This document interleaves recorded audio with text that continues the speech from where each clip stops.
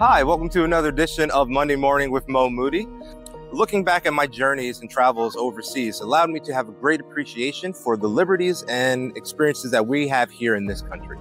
When I was abroad in Belarus, which is in the Eastern European bloc, it had communism and socialism, and I got to see what it was firsthand experience, not reading it from a book and hearing from other individuals. I lived there for a quarter out of a year, and it does not work. It has failed. It has failed in the in Russian speaking countries, in Asia, in Africa, and anywhere else that you've tried to implement socialism, communism, it does not work. And it is so scary to me that there's individuals that want to bring socialism right here to our neighborhood.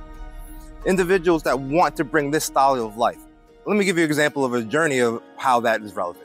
So, relatively a couple days of landing into Belarus, uh, we were in passing and I said, Hey, there's a supermarket. Let's stop by and grab some very, very, very light provisions.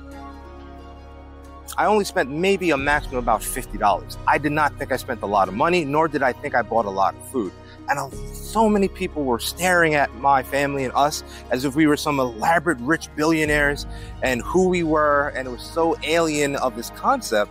It was behind us a father and a daughter, and the daughter started to cry, and the father looked very sad. And it was all because we were buying bananas.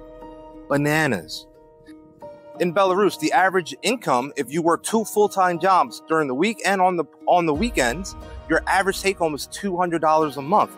For me to spend fifty dollars at the supermarket was a crazy amount of money, and it was felt like it was nothing to me as an American.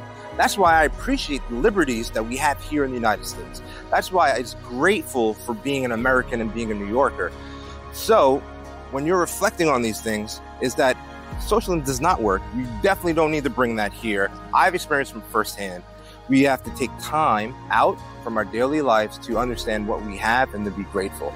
My name is Mo Moodie. I'm running for Onondaga County Legislative District 15.